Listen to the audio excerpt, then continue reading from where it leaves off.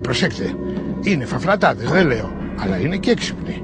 Σου λέει πώς είναι δομημένη η σουλιώτικη κοινωνία, ο αρχηγός της φατρίας και από κάτω όλοι οι άλλοι. Αδέρφια, ξαδέρφια, ανιψούδια, έτσι φτιάξαν και τα τάγματα. Και τον Κίτσο ταγματάρχη βέβαια. Πάει και ο μικρός Μάρκος, τι μικρός, κότευε τα 20. Και του λέει πατέρα να πω κι εγώ στο στρατό.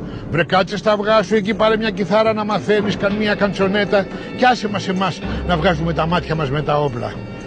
Ο Μάρκος μου λοχτός, δεν του είπε τίποτα. Μόνο πάει και βρίσκει τον ταγματάρχη, τον Γάλλο. Το συνταγματάρχη, μάλλον, κολονέλ. Του λέει mon κολονέλ, θέλω να μπω κι εγώ στο στρατό. Μόνο αν φά, τι χαρά θα κάνουμε όλοι.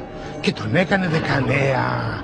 Του πέταξε τη φουστανέλα, του πέταξε το φέση, του φόρεσε κολλητό παντελόνι, γυλεκάκι, εδώ με πομίδες κόκκινες και ξαφνικά ο Μάρκος βρέθηκε δεκανέας του γαλλικού στρατού.